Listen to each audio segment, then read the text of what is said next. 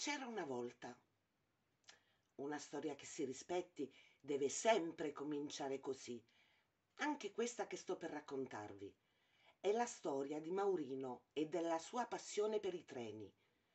I suoi treni, però, non erano dei modellini, bensì dei treni veri, compresi quelli a vapore.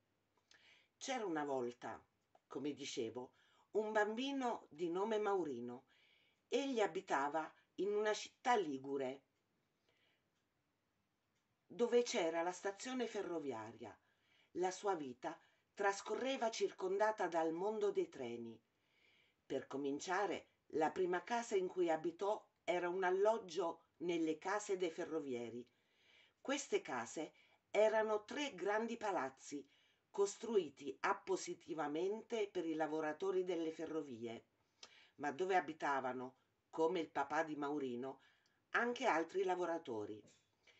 Bisogna aggiungere che Maurino aveva anche due zii che lavoravano come ferrovieri nella stazione della sua città. Gli zii erano degli esperti meccanici e Maurino, quando li incontrava, ascoltava i loro racconti sulle riparazioni che si facevano ai treni, curioso e attento, come lo, lo è oggi un bambino che si interessa alla macchina del suo papà. La seconda casa dove abitò dall'età di otto anni era quella dei nonni paterni. Nella loro casa non solo era nato, ma era quella dove spesso era ospite. Lui voleva proprio bene a quei due nonni, non soltanto essi esaudivano molti dei suoi desideri, ai quali invece mamma e papà dicevano no, bensì con loro poteva trascorrere ore e ore ad osservare i treni che si muovevano nella sottostante ferrovia. Sì, l'appartamento dei nonni era al quarto piano e le finestre delle camere davano su un terrazzo grande, il quale si affacciava proprio sui binari. Questi binari, da lì ad un chilometro, avrebbero portato alla stazione della città. Per Maurino era un gran divertimento stare lì a guardare non solo i treni in arrivo da Torino e Genova, ma anche quelli che i ferrovieri, addetti alle manovre, erano impegnati a comporre sui diversi binari morti. Questi ferrovieri, tra i loro compiti, avevano quello di agganciare alla locomotiva i differenti vagoni, sia quelli passeggeri sia quelli merci. Oppure, ovviamente, quello di sganciarli. I nonni di Maurino gli avevano spiegato che alcuni vagoni, quelli scoperti, erano destinati alle merci alla rinfusa, carbone o minerali, altri ancora chiusi avrebbero ad esempio contenuto sacchi di granaglie o rotoloni di carta o altri materiali, i quali dovevano essere protetti dalla pioggia. Altri, infine, che erano vagoni cisterna, servivano per il trasporto speciale dei prodotti chimici. Come urlavano quei ferrovieri, li udiva persino Maurino, che era distante una cinquantina di metri dai, sgancia questo vagone, oppure piano con quella motrice. Ma quello che colpiva di più Maurino, che era un bambino ben educato, erano le parolacce che dicevano. Io non so se è mai capitato anche a voi bambini, ma Maurino era molto imbarazzato. Si rendeva conto che non avrebbe dovuto ascoltare quelle parole sporche, come pretendevano i suoi genitori. Tuttavia, non poteva resistere alla tentazione di farsi, uh, diciamo così, un'istruzione linguistica. Piano piano, col passare degli anni, la sua curiosità per l'aspetto tecnico dei treni cominciò a diminuire.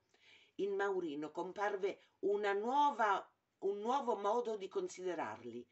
Prima quando era più piccolo, li guardava dal punto di vista di come erano fatti e di come funzionavano. Ora invece, che aveva otto anni, pensava ai treni soprattutto come mezzo di trasporto di passeggeri. Rifletteva cioè sul fatto che i treni trasportavano le persone da un luogo all'altro Nacque allora in lui una nuova curiosità. Dove andavano i treni che scavalcavano, attraversavano la galleria, quelle montagne che Maurino vedeva dal terrazzo dei nonni? Farsi una simile domanda era forse normale per un bambino come lui, che era abituato a stare per ore sulla spiaggia a guardare l'orizzonte del mare. Gli era stato detto dai suoi nonni, i quali avevano viaggiato sulle navi per lavoro, che al di là di quell'orizzonte c'erano altre terre, dove abitavano altri uomini, persino con la pelle di un colore diverso. Questi uomini le loro mogli e i loro bambini parlavano anche una lingua differente dalla sua, che lui non avrebbe potuto capire se non studiando e viaggiando. Quante volte si era domandato allora chi fossero quegli uomini e come suonassero le lingue che parlavano. Adesso, quando era sul terrazzo e osservava le montagne, si chiedeva sempre se al di là di esse ci fossero altre città come la sua. Si domandava anche che lingua parlassero i bambini che le abitavano. Non gli bastava che la nonna gli rispondesse.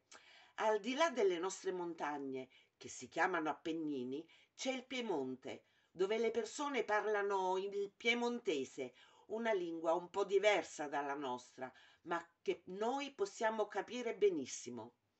In Piemonte, aggiungeva la nonna, ci sono altre montagne, le Alpi, che sono molto più alte di quelle che ci stanno di fronte. In Piemonte poi ci sono città molto più grandi della nostra, come quella di Torino. I nonni la conoscevano questa città perché vi erano andati molti anni prima col treno in viaggio di nozze. Maurino ora si spiegava la presenza di quel quadretto sopra il comodino della nonna, nel quale era, era incorniciata una fotografia della Basilica di Superba, una bellissima chiesa che era stata costruita sulla cima di una montagna. Allora si formò nella mente di Maurino un pensiero.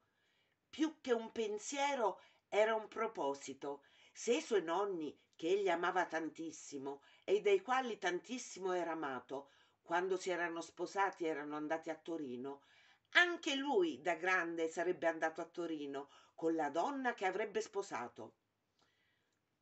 Come credete che andò a finire per Maurino?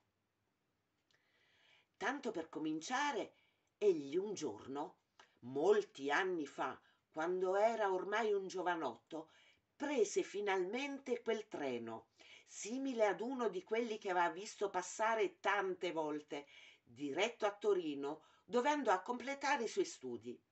Al termine di questi si fermò in quella città dove trovò un lavoro. La cosa più straordinaria però fu che un bellissimo giorno si innamorò di una ragazza che un anno più tardi sposò. Riuscite a indovinare dove la portò subito dopo che si erano sposati in viaggio di nozze? Io non ve lo dico, tanto l'avete già capito. Un'ultima, co- un'ultima cosa, vissero felici e contenti.